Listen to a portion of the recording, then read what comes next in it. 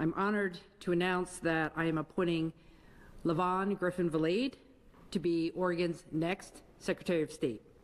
After a two-month search, Oregon Governor Tina Kotek officially announces her pick for the next Secretary of State. LaVonne Griffin Valade will serve for the remaining 18 months of the current term.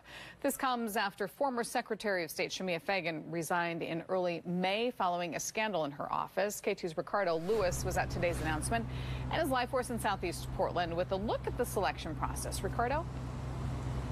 Well, Governor Kotek says she took her time with this decision, and this was all happening during a chaotic legislative session. The new Secretary of State now has a big job of ahead of her uh, working on the public's trust.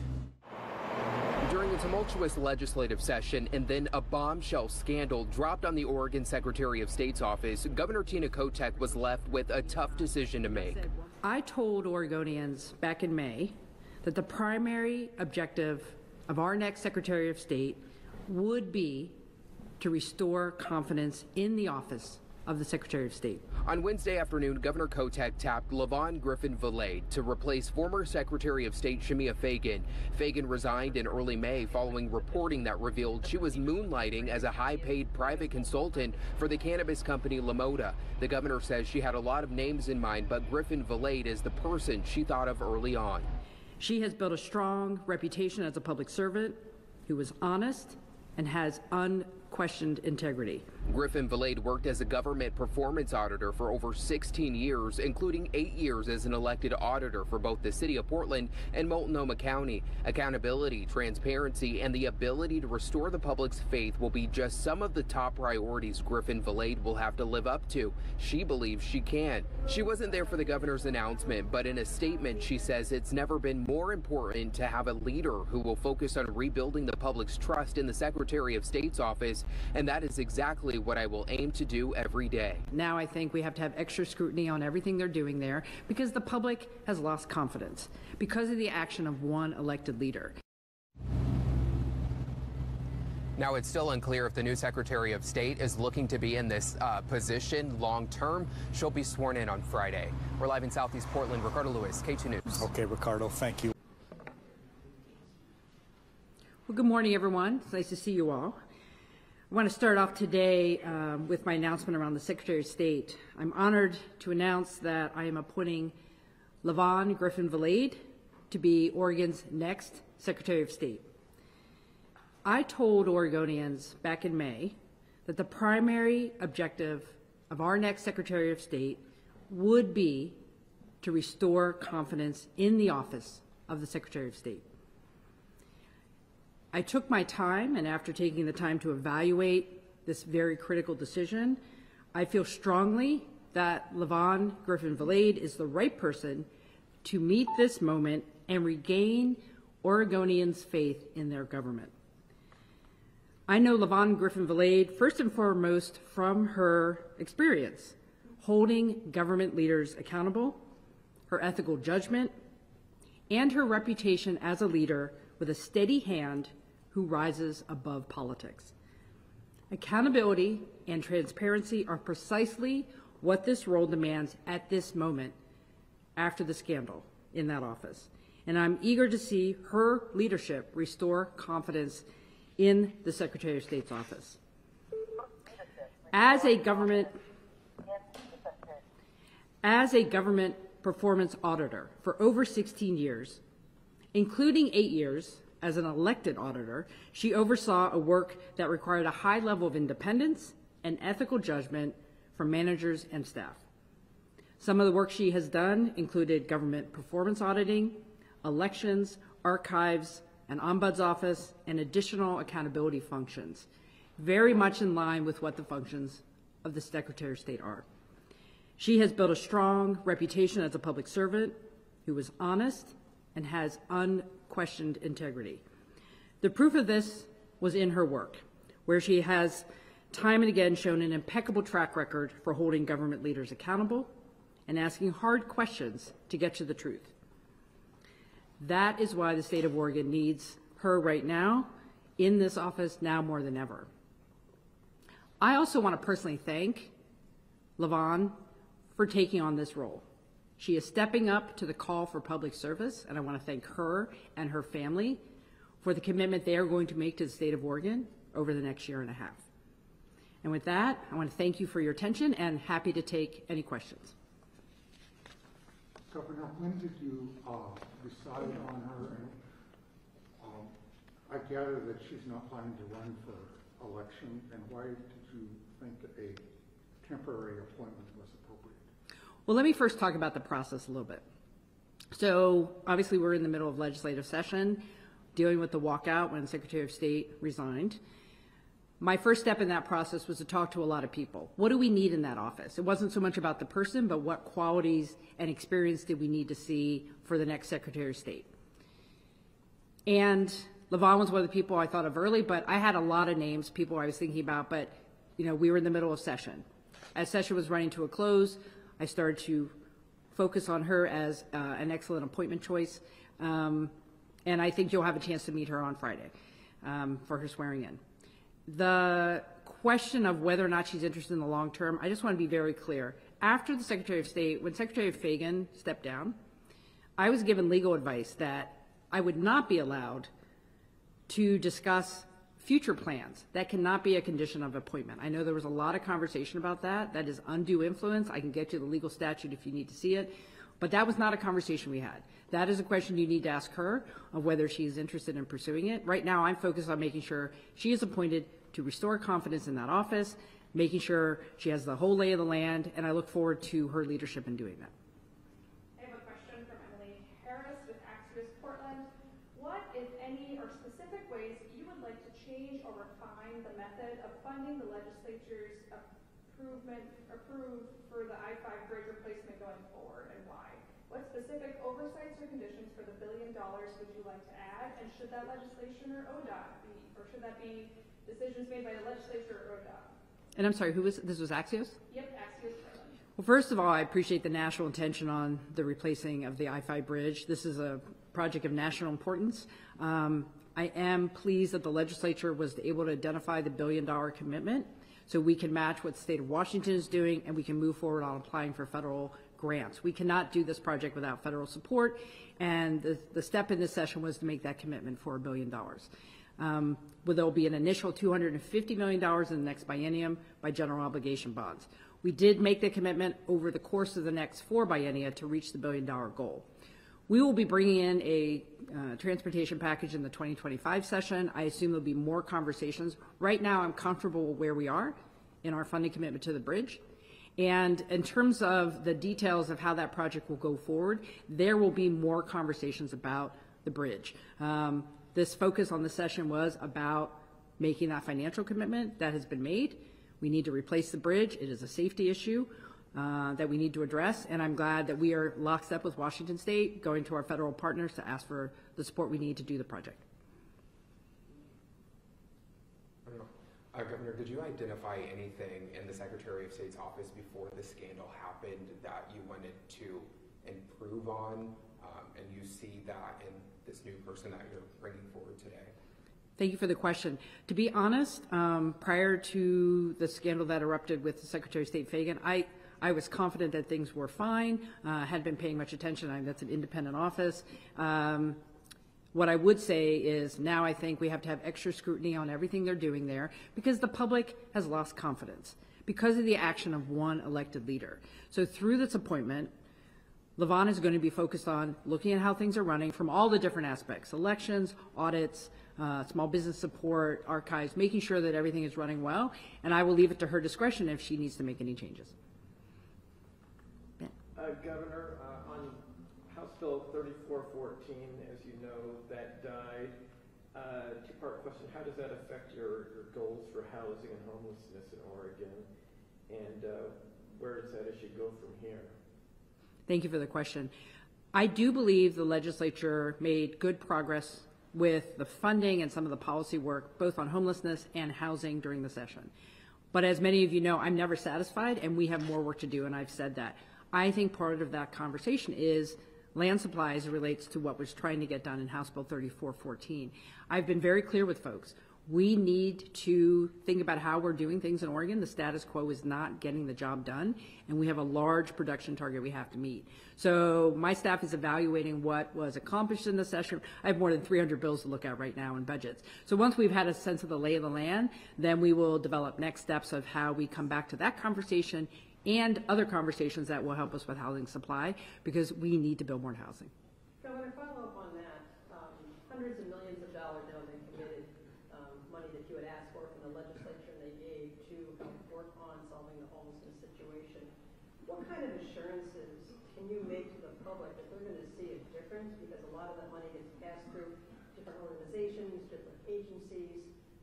What difference are people gonna see, especially on the streets?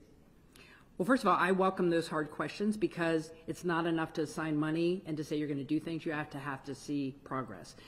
We got the money early in session under the emergency order. We have been working on a regular basis with the local communities that have specific plans to increase shelter capacity, to keep people housed, and to rehouse people between now and the end of the year. So we are staying on top of that. Um, I fully expect we will hit those goals. We'll see more shelter availability. We'll see fewer people on the streets. And it's not going to be easy. We need all Oregonians stepping up to do that work.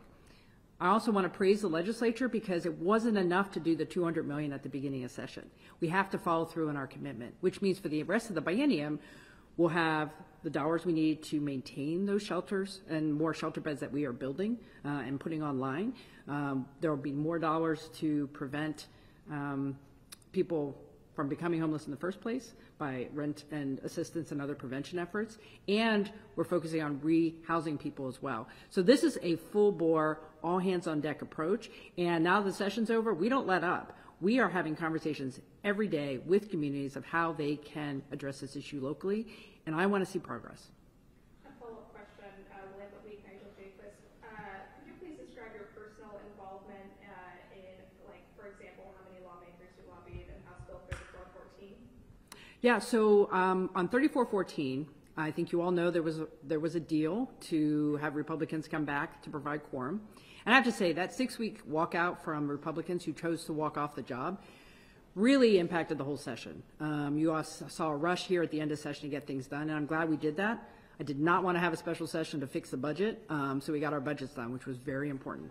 Um, One of the pieces of the agreement for uh, Senate Republicans and independents to come back was to make a good faith effort to pass 3414 um, with the land supply portion. I made a commitment personally to be part of trying to pass it. So I worked in the last 72 hours to talk to members to try to get their votes. And on the day of the floor, I thought we would pass the bill. We didn't. That happens. That doesn't mean we aren't coming back on the topic. So I upheld my side of the bargain, which was to try to get it done. Um, and we need to continue the conversation.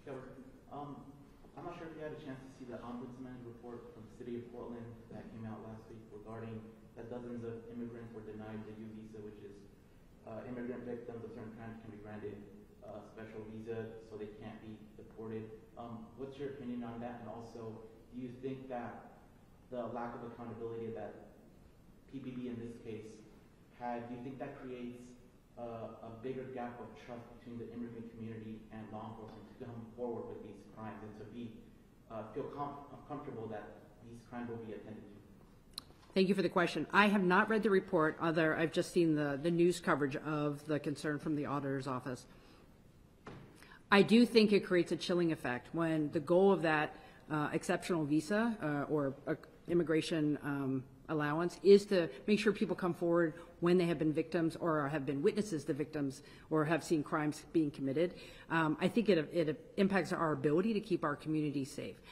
As governor, I would like to make sure law enforcement across the state is consistently applying that because we need everyone in our community to come forward and feel safe to come forward to identify when crimes are committed because that keeps us all safe. So hopefully, um, PPB will respond positively to that audit and uh, address accordingly their, their failures there. So. I have a question from Central Oregon Daily News, Gustavo Bautista. Uh, doing a story on the passage of House Bill twenty-four twenty-six, the pump your own gas bill and its impact on Central Oregon. Question for you, do you intend to sign this bill and what ultimately made you decide to do it? Are you ready to pump your own gas? Thank you. Uh, This is one of those bills from the session I think is gathering uh, a lot of attention. Um, I have not made a commitment either way on that bill. Uh, Of the 300-plus bills, I have to look at them, consider all the testimony. If people want to weigh in on any of the bills that are before me now that they're out of the legislature, you can go to our website. There's a spot to say, share your opinion. So if you have an opinion about that bill or any other bill, please let me know. I have 30 days in which to either sign or veto the bill. Governor, I'd like to ask uh, a follow-up back on thirty-four fourteen. You were at the Capitol on, yeah, on Sunday, um, talking with some legislators after it went down, in case it could be uh, a revote. Um, What happened? I understand there were a couple of Democrats who were supposed to vote for the bill who didn't. So can you describe, you know, kind of what happened and their response when you tried to intervene? Well, Dick, I know, I mean, you know, I've, um, was a legislator for 15 years, so very aware of the kind of give and take at the end of session, a lot of people going back and forth on the bill. Um, I thought I had commitments, um, to get the votes we needed. Uh, Republicans were able to muster eight votes. I thought we could get eight votes from, uh, the Senate Democratic Caucus to pass the bill. Um, and my job was to see if there was an opportunity for reconsideration. Um, If you have any other questions about that, you should probably bring them up with leadership. All I know is we don't have the bill. I'm going to work hard to figure out how we get back to that topic, because the session's over, but the topic is not going away, so. So you didn't have Democrats um, put across the line, and it seems like it was, maybe had something to do with not being um, specific enough to affordable housing, that anything can be built on this land, is what I read. Is that, was that the fatal flaw, or what was the reason that you couldn't get it? Well, I did watch the floor. There was a variety of perspectives on why they, um, senators would not support the bill. But we had quite a few Senate Democrats who did support the bill. And um, at the end of the day, we were one short. And um, I'm going to listen to what those concerns were and see if we can adjust. But let's be clear, um, also one of the challenges was we didn't have all the Senate Republicans back because some of them, because of what had happened over the course of the session, were not coming back. So uh, that also affected the vote count. Uh, question from Dirk with OPB. Will you consider a special session to consider the policy in House Bill thirty-four fourteen? What I'm doing right now is assessing what the legislature did achieve as it relates to our housing crisis, particularly as it relates to housing supply. There were several policy bills, there were investments that we had called for and other folks had called for to help get more construction in the pipeline. After that assessment is done, I'm going to see what do we need to do next? And I'm open to all options because housing is a crisis. I don't know if you caught on to that yet. We don't have enough housing. I'm going to keep talking about housing, and I will do whatever it takes to make sure we can get more supply in the pipeline. And you've been very patient. Back to transportation, the Transportation Commission met this morning, and ODOT has said in the last couple of days specifically that your delay in allowing them to implement tolling is gonna raise costs for a number of projects and delay them potentially indefinitely. What do you expect to happen in the next two years, and how are you seeing ODOT pay for projects they say are necessary, especially on I-5 and 205? Thank you. Um, I know that uh, under my direction, ODOT has put together an analysis of where we are with the major projects um, that were funded in House Bill, the, the transportation package back in 2017. Um, it was the right call to put a pause on the um, collection of tolls as it related to I-205. Um, I also believe that we will need to get there, but doing it right is important. That being said, we need to have an honest conversation about where our revenues are to do the major projects, like the Rose Quarter. And I want to be transparent with people. If we have a revenue problem, then let's have a conversation. We will have a transportation package in 2025. Um, I do believe the Rose Quarter has to get done, but as you're hearing from the conversation at the Oregon Transportation Commission this morning, we don't have the resources identified yet to do that. We got to get serious about that, and um, I think there's an idea that all that money is there. It is not. We have to do these projects right. I'm committed to doing that. We'll just have to figure it out. Uh, question from EO Media Group's Gary Warner remote. Uh, Governor Kotek, will you approve, uh, the additional capital construction allocations in House Bill five thousand and six A beyond the one hundred million in maintenance requested? I'm not sure what the 100 million is that. You mean for higher ed? Uh, I'm not sure. Well, here's what I would say about all the bills that ended up session, including the final six bills that wrap up the session. bonding, capital construction. I have to look at all of them. I will look at them line by line to see if I agree with the allocations that were made, and um, I haven't had a chance to do that yet, so. And as clarification, it's, uh, the number for OSU Cascades for two years. I'm not aware that OSU, OSU Cascades did receive any funding. Can I ask you a question about a couple of items that um, didn't get funding? Um, The Oregon Crime Victims Law Center, a million dollars, forty-three percent of their budget. Um, They feel like they fell through the cracks. And the Arts and Culture Caucus didn't get what they were looking for from the High Desert Museum in Bend to the Shakespeare Festival, um, so almost twelve million dollars. Did those things Is there any recourse for those folks, and especially the Crime Victims Law Center, which really is historically counted on that funding? Yeah, um, again, I think this goes to the dynamic at the end of the session because of the walkout. Um, even though there was a lot of good work done, when you are focused on also getting people back to work, you, you, you know, some things will get lost in the fray. Um, I think, and every session you have things that get missed. And what normally happens is leadership will say, we'll be back and do this in February. I would assume for the crime victims resources, there's a lot of commitment there. I, that is truly slipped through the cracks. I'm not aware that there was any concern. I didn't even know it was an issue. Um, and I do think for other things, people will always come back, right?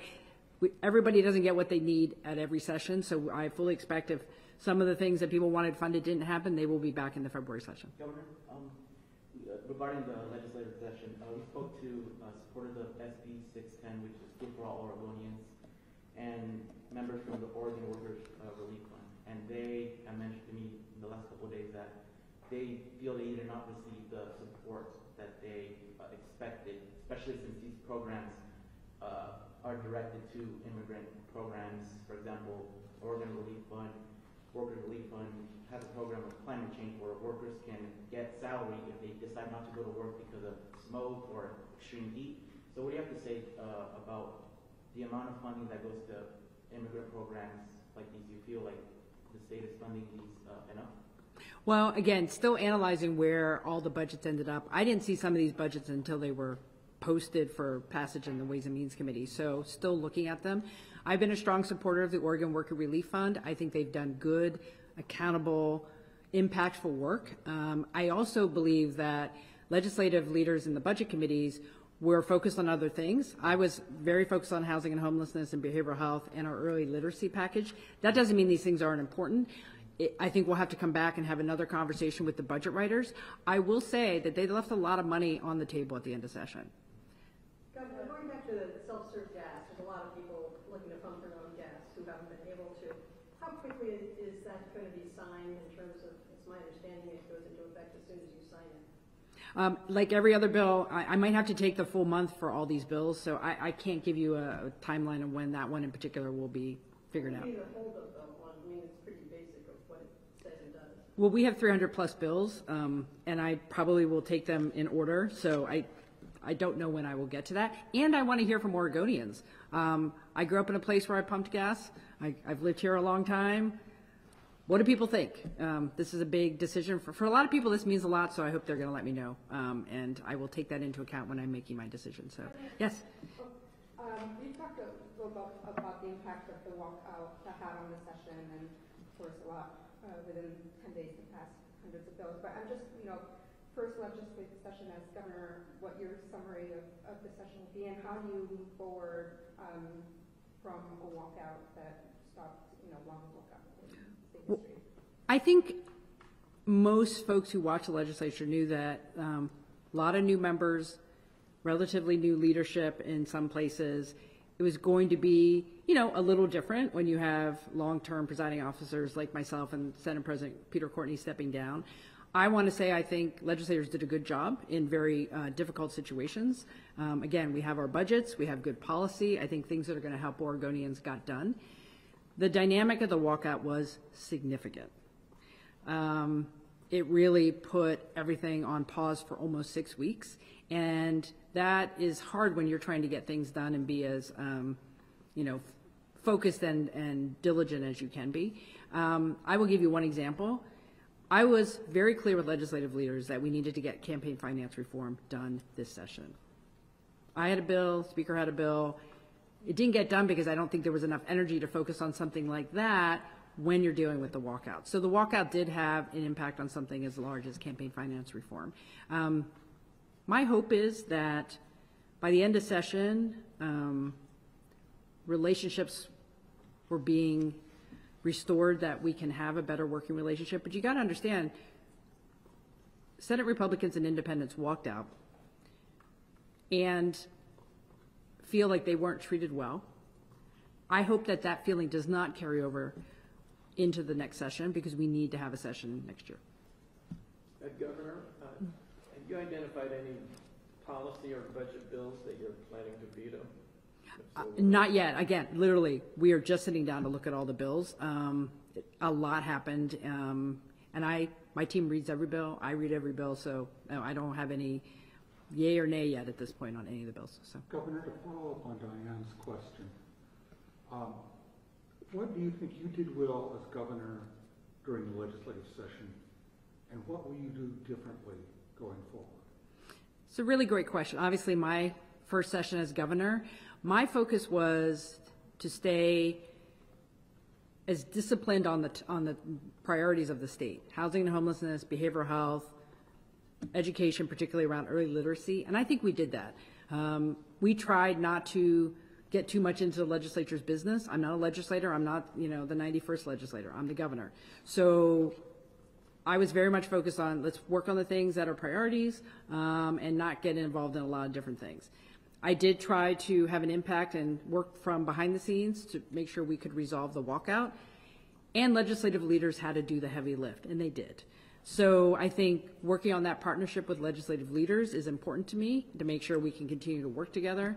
Um, I look forward to the next sessions because I will have more time to have my own bills drafted. Um, we didn't have that going into session. I had to rely on legislators in most cases to draft my priority bills. Um, that will be different. And um, I think that will give me more time to actually have the type of legislation from day one that we need. So. I have a question from Jamie Goldberg with the Oregonian. Regarding your literacy package, is the Department of Education saying money, training, and new materials, uh, or the Department of Education is saying that money, training, and new materials likely won't reach schools until March. Are you content with that pace? One of the things that's important for me on early literacy is, first of all, we passed a really good bill, and legislature put money behind it. As some of the reporting has shown, we've tried to improve early literacy in the past. I want to make sure we're being deliberate, that we're setting up the systems in every school district to make sure teachers have the skills to teach the science of reading and that every child can be successful. I just had a meeting just this week, um, maybe even yesterday, I'm losing track of time already, about, well, what comes next? So districts are going to start getting understanding of what they need to do. Uh, we're going to have rules drafted to make sure the money is getting to the districts. We need to come back and also get the additional resources for students um, or for the community groups and really young readers, birth to five, working with community groups. I want everyone in Oregon to understand that reading is absolutely essential. So every parent, every professional, every educator, we're going to be talking a lot about reading. You're probably going to see me on the road talking a lot about reading. This isn't just a bill. This isn't just about a little bit more money. This is about changing a mindset of how we do instruction in our schools. We're also standing up the Educator Preparation Council, which is going to talk about what our education programs are teaching our future educators and what they are learning. So we are planning for the long haul. So it's the short term, training up as best we can, get the money to the districts, getting our new educators properly trained, and really changing what we do here in the state when it comes to teaching reading. And we are all in on that. Um, and, and the bill that was passed in 3198 is a great start. Going back to the Secretary of State's office, you talked about the main priority is accountability, restoring trust. Is there specific, uh, and you touched on it a little bit, but I just wanted to know, is there specific goals in the next eighteen months that you really want to see, um, the next Secretary of State do, or, you know, is there specific tasks that you made for her specifically? I did not make specific asks. Um, what I said to um, LaVonne is, I need your expertise. I need you to take your experience and say, how is the office doing? Where are we now? we're still going to be, I think, dealing with the aftermath of the scandal and what she should be doing, but I need her to make sure we have an office that people can have confidence in, and that might have to be changes, we just don't know yet, so. Is there a reason she's not here today, or are we waiting until Friday to hear from her? Um, on Friday. Today, we wanted to announce, uh, she'll be sworn in on Friday. Um, the Secretary of State's office will be dealing with the, the details of the swearing in, now that it's been announced. So, um, we'll do it Friday, she'll get sworn in, I believe she'll be re- making remarks, so you'll get to meet her then, so. Just shoot me if do you have any update on any of the investigation issues there, consequences coming, and, um, what are you hoping to see out of that? You know, I don't have any updates. Um, you know, uh, the Attorney General is completing, I, continuing on in her investigation. I have not had any updates from the Attorney General, which is fairly common. You know, she's gonna stay tight-lipped until, you know, to protect the investigation.